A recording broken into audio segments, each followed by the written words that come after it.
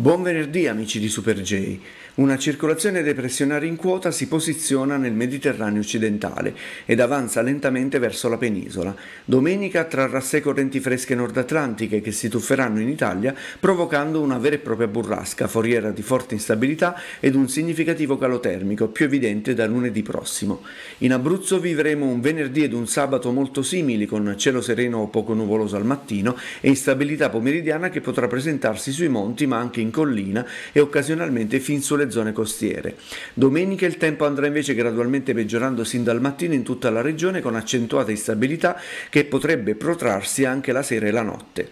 La ventilazione sarà a regime di brezza fino a sabato, domenica sera giungerà la tramontana a partire dalle zone costiere.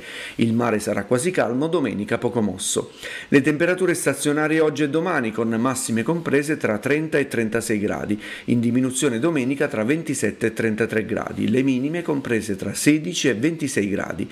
Per l'aggiornamento meteo è tutto, a venerdì prossimo.